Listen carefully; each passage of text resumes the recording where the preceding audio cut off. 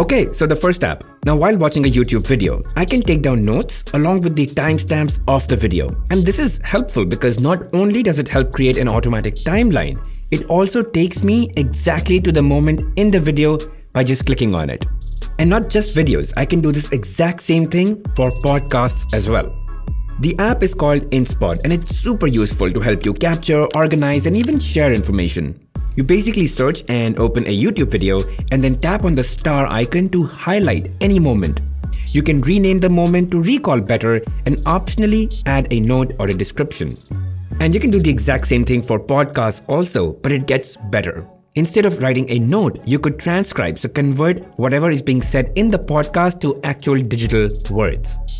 Now, I imagine myself using this for a lot of research that I do. And to organize it, you can also add tags. This makes it really easy for you to look for those relevant videos or podcasts really quickly.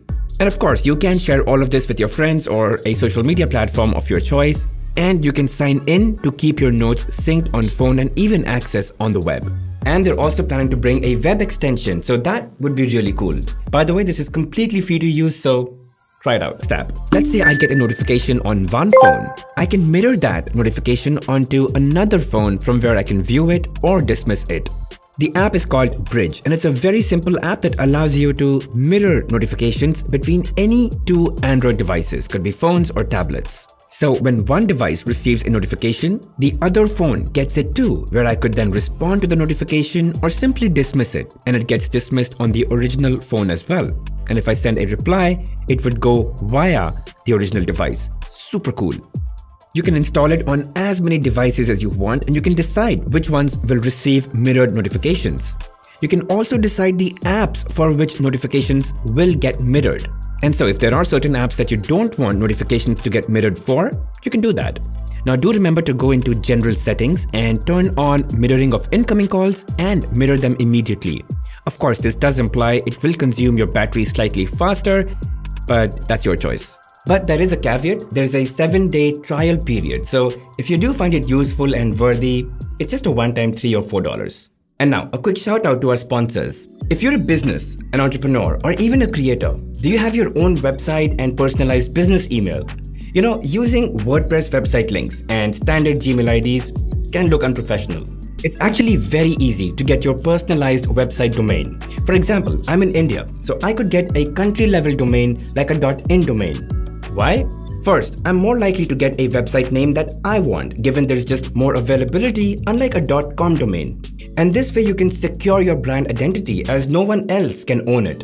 Second, I can have my very own domain-specific email IDs which look a lot more professional and comes with 10 gigabytes of free storage. And third, the .in domain has been chosen as the seventh most desirable domain globally. And that just means more recognition for you. And you know, it takes less than two minutes to book a domain and it's really simple, anyone can do it. Just search for your domain, add to cart, and you can own a .in domain for a super low price.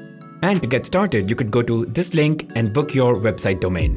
Okay, so the next app is called Note to Self. And with this app, you can text yourself anything. It could be reminders, to-dos, or just thoughts that you have, and you can organize them all very nicely over here. Like a lot of times, I get suggestions randomly from friends to watch something. I just put them here real quick and I send it to myself as a message. If I have a personal errand, I just drop it right here and send myself a note. And it's not just limited to text messages, you can add photos, location, and even voice notes if you don't wish to type. Now I've created these threads here for myself, but you could go ahead and create your own. For example, if you're working on a few habits to develop, you can give it a name, you could give it a picture so it's easy for you to identify, add emojis to make it a bit more interesting, and yeah, there you go, just like that. And so if you are addicted to texting, then might as well make a good habit out of it. What if your wallpaper could instantly tell you your phone's battery level? Green for well charged, yellow for in between, and red for needs charging. Or how about a happy Pikachu, not so happy, and a sleeping Pikachu instead? The app is called Dynamic Wallpaper and it does just that. You can set it on your home screen, lock screen, or both, and all you have to do is just turn on this toggle, and that's it. Now, if you go deeper into the app, there are actually many wallpaper preset collections that you could choose from. So depending on what kind of design aesthetics you like on your phone, you could choose a preset. And I think uh, the developer will come up with an option to have your own wallpapers instead. And lastly are these beautiful KWGT widgets that you see being used across these home screen setups. It's no doubt that these are all iOS inspired, and so if you're the kinds who doesn't mind a bit of iOS uh, aesthetics on your home screen, then this is the widget pack for you. Very vibrant. So the widget pack is called IUI KWGT widget and it's a collection of nearly 100 widgets and still gets updates quite frequently.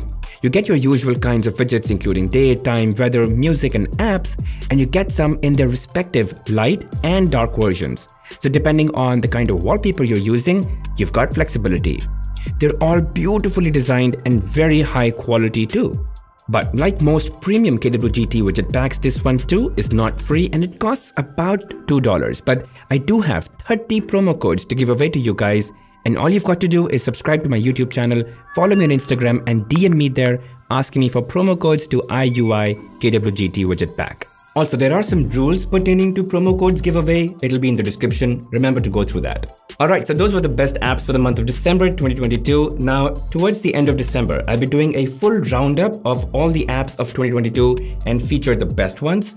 Now, if you have your favorite, let me know in the comment section and may the best app make it to that video. Okay, so thanks for watching guys. I hope this was really helpful and if it was, make sure you hit that like button, subscribe to the channel and hit that bell notification icon and mark all really helps the channel grow. I'll see you guys in the next one.